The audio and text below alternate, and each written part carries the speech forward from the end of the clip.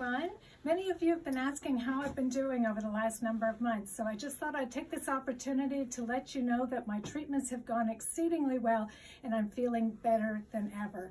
I'm going to take a little rest over the holidays to enjoy some time with my family and friends and then back to treatment in January. But I just also wanted to take this opportunity to thank the community for your outpouring of love and support. It's meant the world to me. I wanted to wish you all the blessings of this season and make sure you hug your loved ones. Happy holidays.